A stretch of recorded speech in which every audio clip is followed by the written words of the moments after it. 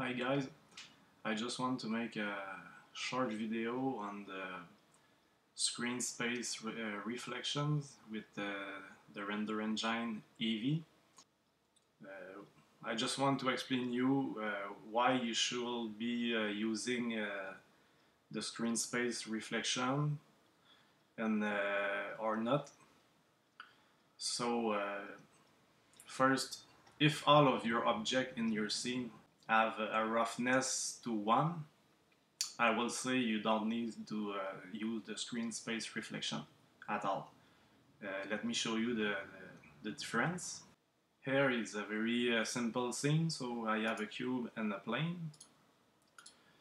And uh, as you can see uh, previously, the, the roughness of the cube is, uh, is set to 1.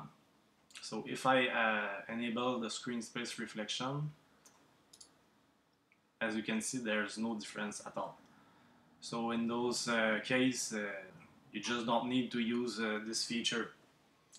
But if your roughness is uh, any number uh, other than 1 then I will say you should be using it if you want to uh, add more realism and actually see the reflections on the objects. So I just set the, the roughness to uh, this number.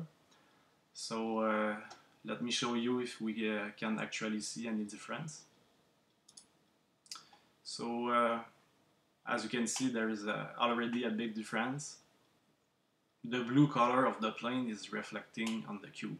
So if I uh, disable the, the feature, then uh, you can see that I don't see any reflection at all.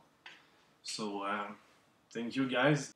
I hope that it will uh, help you with your uh, further uh, projects. So thank you for watching and uh, if you think that uh, my video is useful, please just hit the like button.